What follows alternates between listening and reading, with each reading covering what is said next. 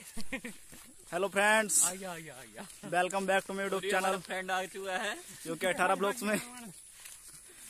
आज मैं अपने दोस्तों का परिचय कराता हूँ।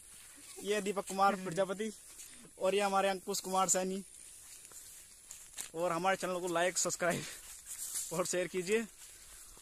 और आप देख सकते हैं इधर का माहौल कितना बेहतर हो रहा है।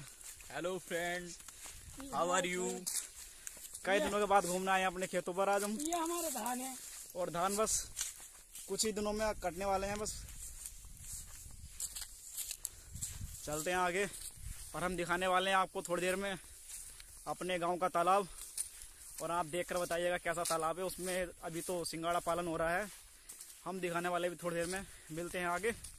तब तक के लिए तो दोस्तों फाइनली हम पहुँचने वाले हैं बस अपने गाँव के तालाब में। दिखाने वाले हैं तालाब अपने गाँव का। बहुत ही सुंदर तालाब है, बहुत ही लंबा चौड़ा तालाब है। जिसमें भी सिंगाड़े की फ़सल उगाई जा रही है उसमें। और हम आपको दिखाने वाले भी हैं उसमें, सिंगाड़ा पड़ा या नहीं पड़ा बेल में। और देख सकते हैं आप, बस सामने पेड़ चमक रहा है जामन का, बस ये तालाब के अंदर ही है।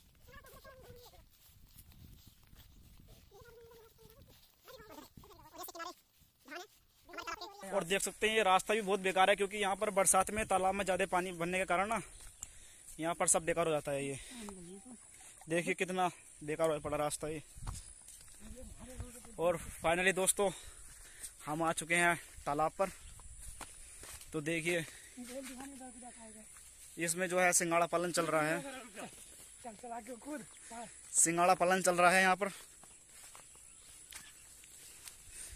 तो दो, दोस्तों ये देख, सकते हैं आप ये सिंगाड़ा पालन है और हम आपको दिखाते हैं अभी बेल में सिंगाड़ा पड़ा या नहीं। जल्दी चेक करो भाई ये हमारे दो फ्रेंड हैं ये बताएँगे आपको।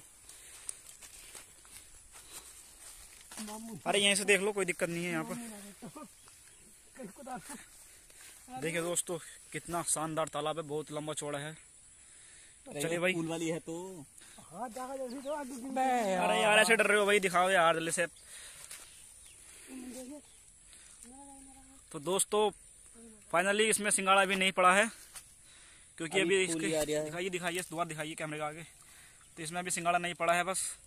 कुछ दिनों बाद इसमें फूल आ जाएगा तो इसमें सिंगाड़ा पड़ जाएगा। तो इसमें सिंगाड़ा नहीं पड़ा है दोस्तों। और तालाब को देख के बताइए कैसा है कमेंट करिए। आप भी अपने काम बनवाना चाहते हैं तो हमसे बताइए। और हमारे चैनल को, हमारे चैनल को लाइक सब्सक्राइब एंड शेयर कीजिए ज़्यादा से ज़्यादा और सपोर्ट कीजिए हमको।